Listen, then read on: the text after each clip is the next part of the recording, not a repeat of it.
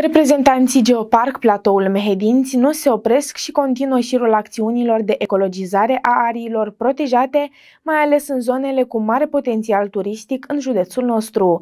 Astăzi au fost prezenți la Isverna pentru a aduna toate peturile și deșeurile aruncate pe domeniul public. Spiritul civic nu a lipsit nici de această dată, întrucât la acțiune s-au alăturat mai mulți voluntari, dar și localnici de toate vârstele. Un exemplu pentru populație în ceea ce privește ecologizarea zonelor cu un puternic impact turistic este Ramona Cupă, vicepreședintele Consiliului Județean Mehedinți. Aceasta a fost prezentă astăzi la Izverna, iar ca de fiecare dată s-a implicat în mod direct în acțiunea de ecologizare. Peturile și gunoaiele nu s-au dovedit a fi o problemă, întrucât alături de voluntari, Ramona Cupă a reușit să redea strălucirea zonei. Continuăm maratonul ecologizării într-o altă zonă superbă, deși afară plouă, Izverna, arondată Geoparcului Platoul Mehedinți.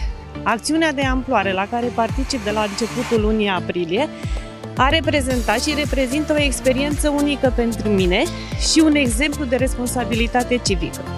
Vreau să vă spun că la toate aceste acțiuni de ecologizare mi s-au alăturat oameni responsabili, cetățenii ai comunelor respective, reprezentanții administrației locale și din ce în ce mai mulți oameni conștientizează efectul nociv al poluării cu plastic.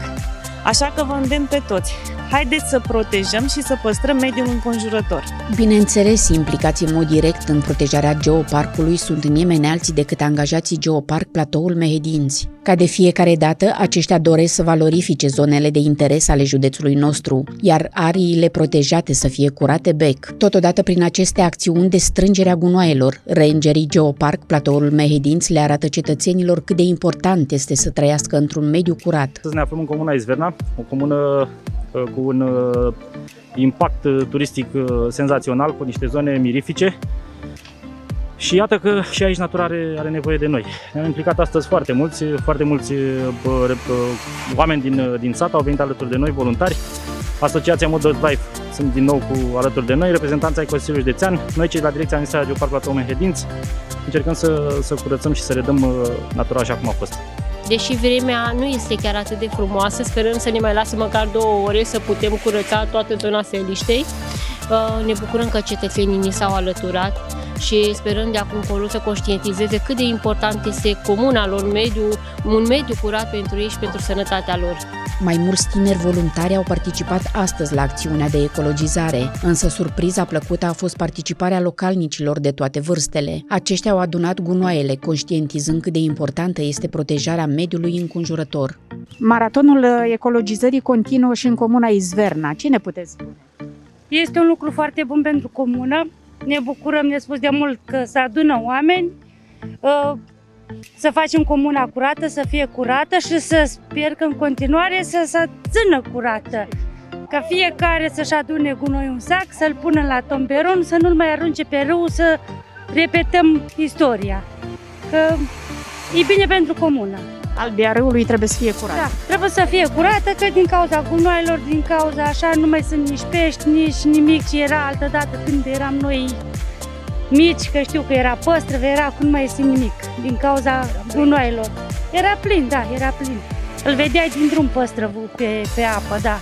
De asemenea, prezente la fața locului au fost și autoritățile locale din Izverna. Aceștia s-au implicat în mod direct în acțiunea desfășurată astăzi. Atât primarul Ionuț Stoican, cât și unul dintre consilierii locali au fost mulțumiți de mobilizarea concetățenilor, dar și a organizatorilor, astfel încât, prin strângerea gunoaielor de pe marginea drumului, s-a putut reda strălucirea localității, care este fără doar și poate una dintre cele mai frumoase comune din Mehedinți.